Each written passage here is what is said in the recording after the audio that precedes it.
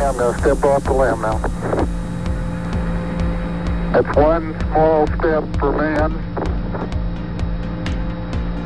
one giant leap for mankind.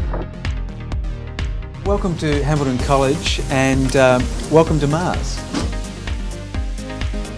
There's uh, metal detectors to look around for any metallic substances and you look for um, signs that there may, may have been life. This is very hands-on practical so it's easier to learn. One of the core uh, attributes of a good education is that it is engaging for students and many young people are fascinated by space and to have a place like this makes it so much more tangible. It's quite realistic. It, you can sometimes get going, oh, where is this place? This is a very real industry. This isn't a make-believe industry or something from a science fiction novel.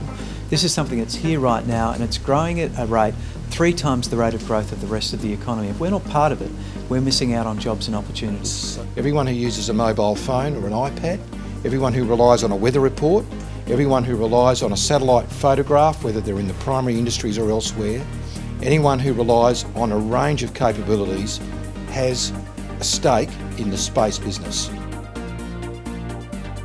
I don't know if I'd want to go to Mars, but maybe space. I'd like to go on the more engineering aspect of it, um, just because I like that sort of area with the maths and everything.